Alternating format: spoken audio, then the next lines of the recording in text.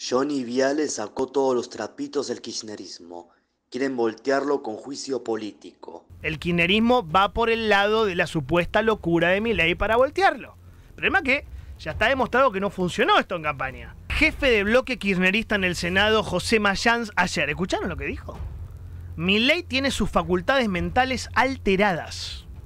Milei tiene problemas de salud mental. Hay que hacerle una pericia psicológica. Hay que ver si está en condiciones de seguir conduciendo los destinos del país. ¿Qué significa? ¿Juicio político? ¿Lo quieren destituir?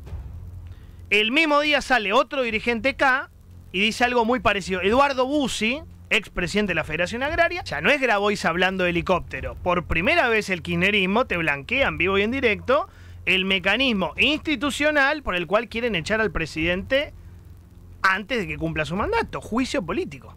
Ya empezó a hablar el kirchnerismo de juicio político. Impresionante. Dos meses. Juicio político. Te están adelantando que lo quieren echar. ¿Qué es el juicio político? Se reúnen dos tercios de los diputados y senadores y echan al presidente. Tienen que conseguir los dos tercios, ¿no? Artículo 30, Ley Orgánica sobre Juicio Político. Punto 2, escucha el punto 2. Inhabilidad física o mental. No sea cosa que, ¿no?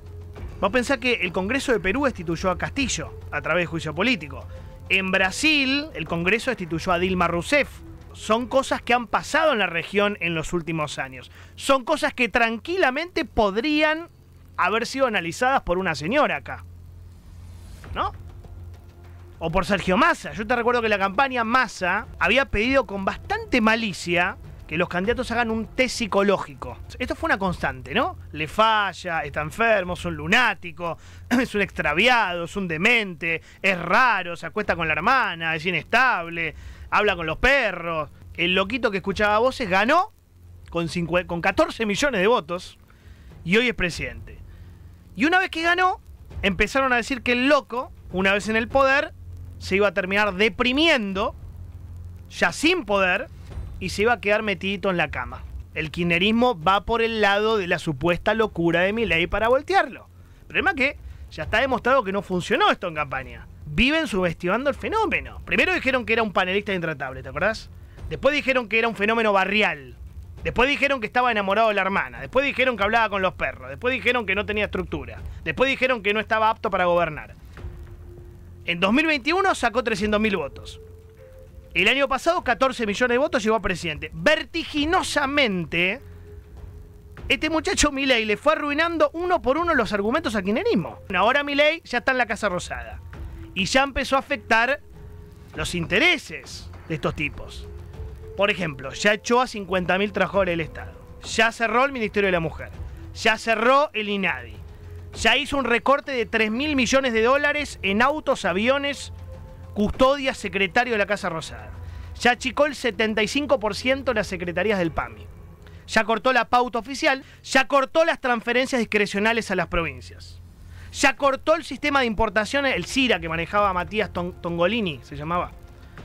Ya dio de baja 27.000 planes sociales por diferentes irregularidades. Ya se metió a investigar el fideicomiso de Grabois, 1.200 millones de dólares. Conclusión están tocando intereses pesadutis. Por eso van a seguir diciendo que está loco. Cuanto más intereses toque, cuanto más cajas toque, más loco va a estar. La bajada conceptual del kirchnerismo es hay que sacarse de encima este energúmeno lo más rápido posible porque está loco y nos va a llevar a la perdición. Porque el riesgo es que la cosa salga bien. El riesgo para ellos es que la cosa salga bien.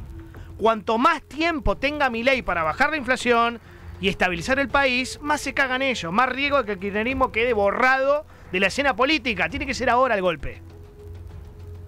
Es ahora. A todo o nada. La oposición está empezando a desesperarse por completo y están empezando a revelar su plan para voltear al gobierno de Milei apenas dos meses desde que asumió. Quieren usar el juicio político, herramienta que necesita dos tercios de los diputados para hacer otra vez el kirchnerismo haciendo de las suyas porque no están gobernando.